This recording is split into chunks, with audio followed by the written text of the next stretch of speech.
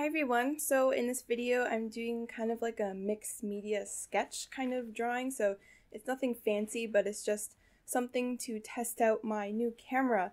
And from the first, like these first few scenes are a little bit blurry because I didn't really have the manual focus um, set correctly because I didn't realize that when you like zoom in it comes a little bit, it goes a little bit out of focus.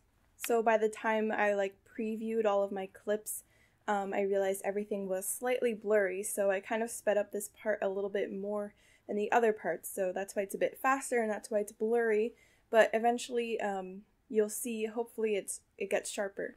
So this is just a little doodle.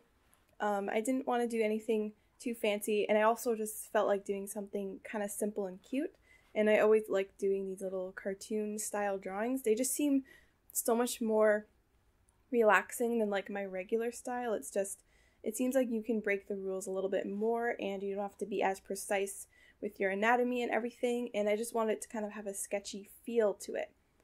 So basically um, the paper as you saw it's like a mixed media sketch paper but I'm probably going to see if I can use it for like more finished work um, just because it's so thick and there's so much paper in it. I'm plan to use it for uh, lots of different things because in this video, I actually tried to use as many different materials as I had, and it actually worked really well with all of them. I used Copics, watercolors, uh, soft pastel, pencil crayons. I used a brush pen, as you can see here, and these are actually um, brush pens I just got today, but by the time you see this, it will be yesterday.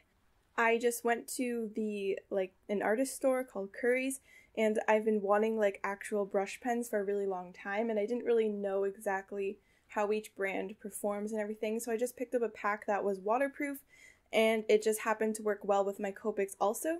So it came with three different sizes. There was like a super fine one, um, a middle middle sized one, and a really broad tipped one. And they are really really fun to use as I expected.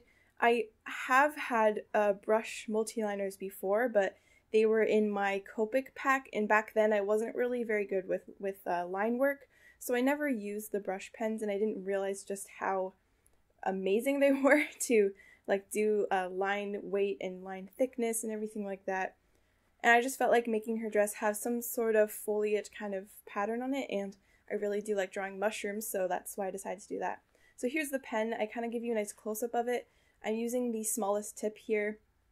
I don't really know anything about the brand. I just picked them up just to give them a try, but hopefully you can read the label there if you're interested this isn't like sponsored or anything, it's just something I just found at the art store. None of this is, I just wanted to test out all these new materials and all my old materials also. And this is the color I'm using for her hair. I don't know why I did such an in-depth close-up of it, but it's one of my favorite Copic colors. It's one of my favorite browns. These 70s are just so nice to use. And the color I used on her sleeves is actually a color I received for Christmas. I got two new Copic colors for Christmas. I think that one was Y23, and I think I also got R83. Those are the two colors. I'm only using the one here, but I decided to do all of the base colors as Copics because those are really good for laying down a nice smooth color for the base tone of an image. And then I just kind of went in with some pencil crayons and also watercolor, as you will see soon. But I really do like that yellow color that I've that I got for Christmas because all my other yellows are really harsh and they're really really vibrant and they're almost they're like too strong to do any kind of neutral looking yellow colored thing like blonde hair or like a nice a nice yellow color. They're all super strong and kind of hard to work with. So this yellow was actually really really nice. I didn't ask for any specific colors. I just got like two ones two colors that weren't on my list that I already had and it actually fits into my collection really nicely. This is a Pentel Aquash water brush. I like to use that for watercolor. Basically, you fill the barrel with water and the water naturally comes out of the end onto the bristles. And this way you don't have to dip your brush into water, it's just the water's already there. It's so nice to use with watercolor painting. I can't express enough like how much more fun it's made watercolor painting for me. I just it's portable and you don't need a jar of water next to you when you're painting. Of course, you can use this as well as a brush in water because you can't do everything with this kind of brush. Like, you can't there's only you can only control the flow of the water to a certain extent because it does come out automatically. And of course with like a regular brush and and a, a jar of water, you can control how much water gets added.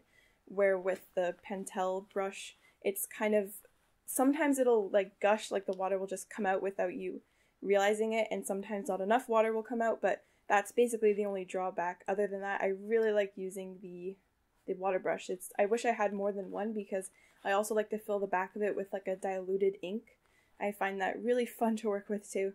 So for the background, I'm just doing some soft pastel, and overall this paper worked really nicely with watercolor, really nicely with Copics, and I'm really happy with the way all of the materials performed. So I hope you enjoyed seeing this little sketch video of me testing out um, some new equipment and my new camera. If you're interested what my camera is called, I will put it in the description. So thanks for watching and I'll see you next time.